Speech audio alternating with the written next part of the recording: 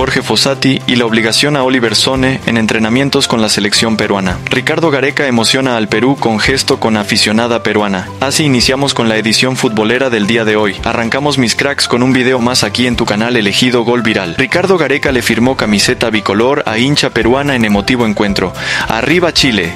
El entrenador de La Roja atendió amablemente en Francia a una fanática que le dedicó unas palabras de agradecimiento por su labor en la blanquirroja. No cabe duda de que una de las noticias más resonantes en el fútbol peruano fue la llegada de Ricardo Gareca a la selección de Chile, y es que cuando parecía que su futuro estaba vinculado a América de Cali de Colombia, finalmente La Roja apareció con una propuesta seductora para convertirlo en su nuevo entrenador. Evidentemente, esto polarizó al país incaico por su etapa de siete años con varios éxitos, y luego de debutar con un triunfo de 3-0 sobre Albania, el Tigre tuvo un emotivo encuentro con una hincha de la bicolor, a quien le firmó una camiseta y se tomó una foto. Tras conseguir una victoria el pasado viernes 22 de marzo ante el cuadro albanés por el mencionado marcador en el estadio Ennio Tardini de Parma, Italia, el conjunto sureño se dirigió a la ciudad de Marsella para afrontar un amistoso contra Francia como parte de la fecha FIFA el martes 26 en el estadio Velodrome. Y en medio de la concentración, una fanática de la blanquirroja fue entrevistada por el medio chileno, La Arenga del Abuelo. Quiero darle las gracias al profe Gareca por lo que hizo por mi país, por la proeza que logró. Para mí no cambia el amor y le deseo lo mejor con Chile que vaya igual de leyos.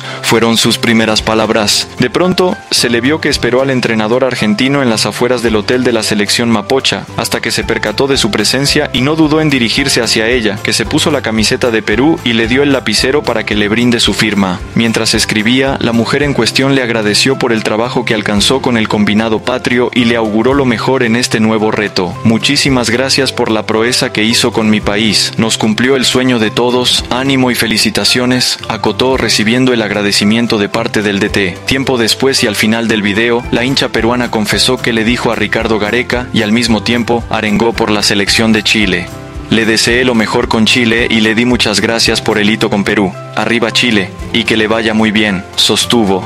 La postura de Jorge Fossati con Oliver Sonne para mejorar su inclusión en la selección peruana, el Nonno y el Vikingo, tuvieron su debut con la bicolor en el triunfo ante Nicaragua y el danés podría volver a ser considerado para la Copa América. El ansiado debut de Oliver Sonne con la selección peruana se dio en el partido contra Nicaragua, en el que ingresó en el segundo tiempo del cotejo en Matute, cuando el choque ya iba 2-0 a favor del combinado patrio. Dicho encuentro también fue el primero de Jorge Fossati como entrenador del elenco nacional que dirigirá las fechas restantes de las eliminatorias sudamericanas y la Copa América, certámenes en los que varios hinchas esperan que esté convocado el futbolista del Silkeborg de Dinamarca. Aunque la inclusión del vikingo en la lista dependerá del momento que atraviese con su club y de su estado físico, recientemente se pudo conocer que el nonno también tiene una condición adicional para el futuro del lateral en la blanquirroja. Como es sabido, el idioma natural de Sone es el danés, aunque también domina el inglés, lo cual dificulta la comunicación con algunos de sus compañeros, por lo que el DT pidió que aprenda el español. De acuerdo al periodista Gustavo Peralta del diario Libero, el técnico también conoce el inglés, pero utiliza el español cuando concentra y entrena con el equipo. Si bien Jorge Fossati maneja también el inglés, las indicaciones del técnico de la selección peruana a Oliver Sone al momento de su ingreso y durante los entrenamientos son en castellano. Asimismo, recalco que el nacido en Europa ya está aprendiendo nuestra lengua ya que tiene que ajustarse al grupo más no al revés. El jugador del Sikeboard de Dinamarca está mejorando con el idioma, pues la idea es que él se adapte al equipo y no viceversa, indicó el hombre de prensa mediante su cuenta oficial de Twitter. ¿Qué dijo Jorge Fossati sobre el debut de Oliver Sone? El estratega charrúa habló sobre los minutos que tuvo Sone, pero también expresó su incomodidad sobre los gritos que pedían el ingreso del futbolista. Él estaba calentado, no estaban calentando todos, estaban calentando los cambios que ya habíamos trabajado. A mí no me hace ninguna gracia que el estadio me haya pedido un jugador. Simplemente si lo ignoré es porque el último que tiene que ser perjudicado es el jugador. Él no tiene la culpa. El que caiga más simpático o antipático un jugador, tendríamos que controlarnos un poquito en eso para respetar a todos, comentó en la rueda de prensa. Lo concreto y lo lindo es que Sone jugó, vino y jugó. A mí me parece que tiene cualidades para seguir tomándolo en cuenta, finalizó. ¿Cuál es el valor de Oliver Sone?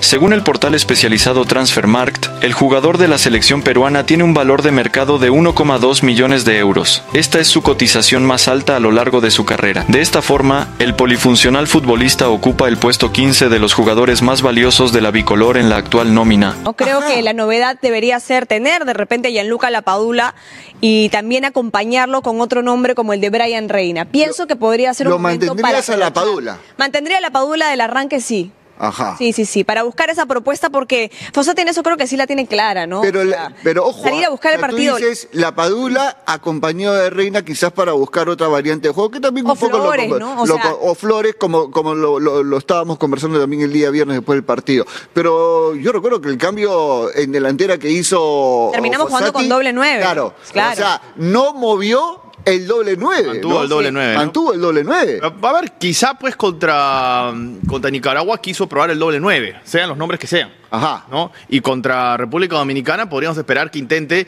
el 9 y el acompañante. ¿no? Caso Reina, caso Flores, ¿no? Y, y en otras líneas, ¿a quiénes mantendrían ustedes? Ya Romina dijo que lo mantendría la Padula en ataque. ¿En las otras líneas hay nombres que se pueden mantener o cambian? Ahora, todos? el, el nivel de Andy eh, Polo y el que le conocemos a Advíncula hace que sea muy complicado. O sea, Advíncula es el titular, sin duda. Pero ¿es una locura alguno de los dos con perfil cambiado por la otra banda? Sí. Sí. Pasa que, Sí. bueno, Apo- Apolo ya lo hemos visto con el perfil Sí, cambiado. ¿no? Y no funcionó mucho, pero eh, también era otro Creo técnico y otro proceso. más, ¿no? Es que justamente... ¿Para qué inventar? Yo lo probaría. Yo lo pro- yo ahora se- ahora es cuando se puede probar. Siento, per- percibo que no te veo muy segura con la pos- con los nombres que están en estos momentos en, No, en el claro, otro a lado de ver, la banda. Trauco, en definitiva, si tú quieres hacer eh, el movimiento táctico de que él quede de forma eh, posicional, Para cambiar la línea de cuatro por momento. así es, para cambiar la línea de cuatro por momentos, porque Advíncula o Anti estarían mucho más lanzados y Grimaldo tome la banda, Cierto. ok, es algo que está pensado, Ajá. preparado. Pero es porque tampoco Trauco está para hacerte el recorrido. Ahora, Marcos López hoy no pasa por su mejor No, momento. no, está bien, pero o sea, te lo refuto de la siguiente manera, porque hasta cierto punto, hasta antes del partido o en pleno partido podía estar de acuerdo contigo, pero el cambio de Sony me terminó de... de- ¿A ti te gustó? No, no, no es que me gustó. O sea, a lo que me refiero es que no es por Trauco o el momento de López, sino que tengo la ligera sospecha de que Fossati va a querer que su lateral zurdo sea recontraposicional. Yo para, para poder hacer esa Para mí no es una- no es una en conclusión, yo creo que es- No, no, es una, una- sospecha que tengo yo, no es creo, que, yo creo que va a tener que ser alguien que no tenga problema con manejar el perfil zurdo. También. Claro, porque, por ejemplo, este lo, caso, lo hizo claro. con, Sone- lo hizo con Sone, claro. Claro, Sone se el sintió profe un le poco... dice Son, así que sí. hay que empezar a decirle Son. O sea, un poco, Sone, un poco Sone. incómodo, ¿no? O sea, Es Sone. que- o sea, Sí, pero el profe le dice... Pero no quiero recordar también cuando Gareca le decía Valera.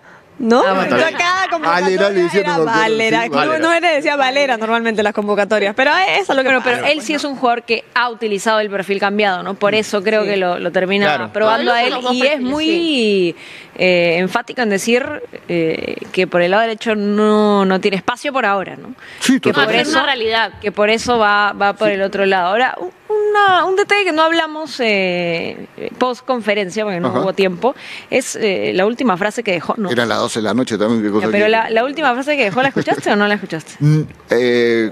¿La comparación? O sea, no, no, porque estábamos... la- ya se, se despidieron todos, o sea, el, el quien manejaba la conferencia se despidió y el profe dijo, un ratito, un ratito, un ratito, aguanta. Ah, eso no lo sabía, ¿no? Quiero mandarle un abrazo y una pronta recuperación a Cristian Cueva. Ah, que mira tú. Nos está eh, mirando, está muy atento y está trabajando para regresar lo más pronto posible. Ajá. Entonces, para mí es muy revelador porque en los planes de Fossati, Cristian Cueva está. Ah, está dentro sí. de selección. Bueno, y Cristian Cueva ya llegó a Trujillo, de hecho, en esta semana ya va a trabajar ahí, entiendo. No sé exactamente si llegó a operarse como fuera el plan del viaje, pero sí tengo la información de que está en Trujillo. Lo que estaba Vamos trabajando mucho para volver, que se estaba esforzando mucho. me Ojalá. Y bueno, mis amigos futboleros, así terminamos con la edición pelotera del día de hoy. ¿Qué opinas sobre la actitud de Jorge Fossati con Oliver Sone? Déjanos tu apreciación en la cajita de comentarios y nos vemos en un próximo video.